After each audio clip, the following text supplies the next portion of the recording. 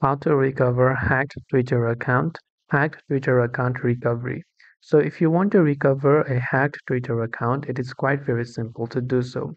All you have to do is go ahead and then first of all, make sure to open up your browser. Then just go to x.com or twitter.com. So it used to be formerly called Twitter. Pretty much everyone knows it. I'm sure I don't have to explain the same thing. Now, when you go to Twitter or x.com and maybe you feel that your account, so maybe when you're trying to log in, it says incorrect password. Now the hacker might have changed the password, but chances are your email ID that you use as a backup recovery or the phone number that you use to reset your password might still be with your access, right? So chances are they might not have changed it. Now, unfortunately, if they have changed both the phone number as well as also the email address, then there is no way for you to recover your account unless you contact the Twitter support team themselves. But try our luck right?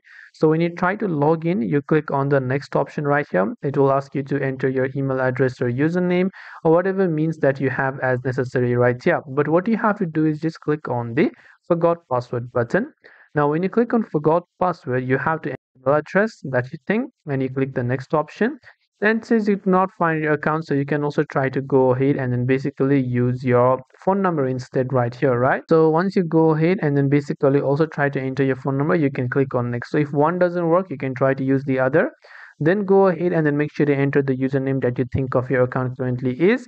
Then after you've done that you want to simply click on the next option. Then it will ask you to verify the code with your email and the phone number code. You can set a new password and set up two-factor authentication to avoid such activities in the future.